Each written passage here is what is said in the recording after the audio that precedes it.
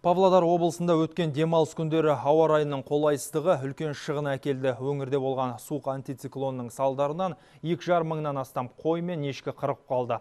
Мамандардың айтуынша өлген малдың басым бөлігі жаңа туған төлдер екен. Бұл жағдай Екібастұз, Ақсу қалалары және Лебяжі Павлодар аудандарында тіркеліп отыр. Қазір сала мамандары қырылған мал басын есептеп ветеринарлық зертханаға жіберді.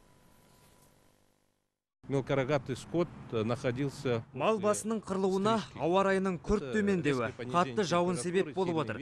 Қазір біз барлығын бақылауда ұстап отырмыз. Алдағы уақытта ветеринарлық зертхананың нәтижесі шығатын болады.